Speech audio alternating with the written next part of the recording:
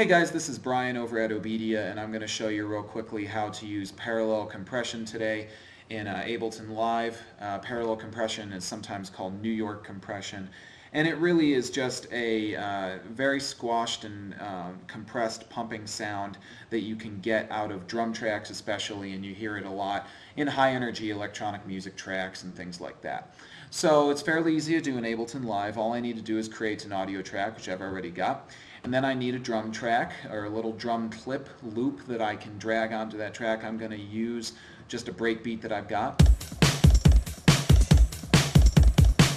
So you can hear that. It's a pretty normal, straightforward breakbeat. It doesn't have a lot of body to it though, and I wanted to kind of have this breathing, pumping, uh, compressed effect on it. That's pretty easy to do, so the next thing I need to do is go ahead and go into the Ableton Native Effects, and I'm going to take the compressor, drag and drop it into the audio effects section.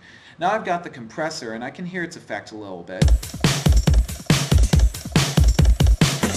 But I want that, again, that pumping, breathing effect. So what I need to do is create a group firstly on this compressor. So I'm going to right click on the compressor, I'm going to select group. Now I've got a group and I can, I can add effects to this compressor, the instantiation of this compressor. So what I'm going to do is I'm going to show the chain section, which I can do just by clicking this button right here. Now I've got the audio effects chain open. On the first link of the chain I've got the compressor, but I'm going to create another link here. I'm going to right click in the empty space, I'm going to select create chain.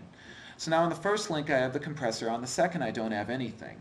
But what this is going to do is going to feed the compressor back into itself and it's going to allow me to get that compressed pumping sort of breathing effect that I want to get on these drums. So I'm going to turn these both down just a little bit because it's easy for me to clip these levels if I'm not careful.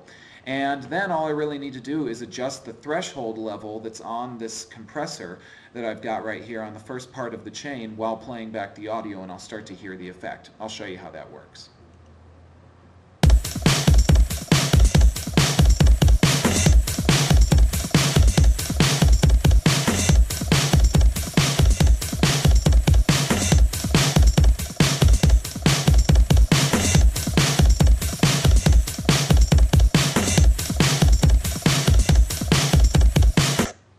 So you can really hear the difference as I start to change the threshold. Now, of course, I can adjust this further and I can add other compression effects if I want.